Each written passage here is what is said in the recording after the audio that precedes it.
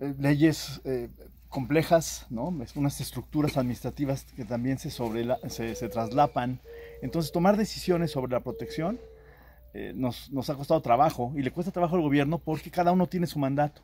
Entonces, Semarnat ve las áreas naturales protegidas, pero resulta que las islas las ve la Secretaría de Gobernación y después como la Secretaría de Gobernación tiene que apoyar, a, por ejemplo, a la Secretaría de Marina, entonces ya tienes tres, tres este, instituciones distintas con mandatos distintos.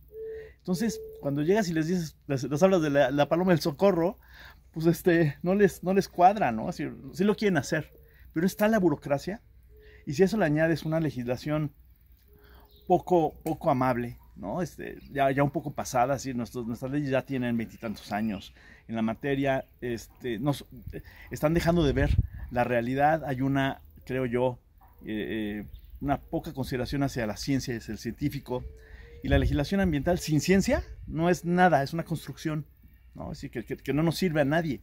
Entonces, eh, es, el momento para poner un poco la ciencia más donde debe estar en la toma de decisiones, tratar de hacer más ligera la toma de decisiones para este tipo de, proyectos. Y bueno, lo que está haciendo el INECOL el,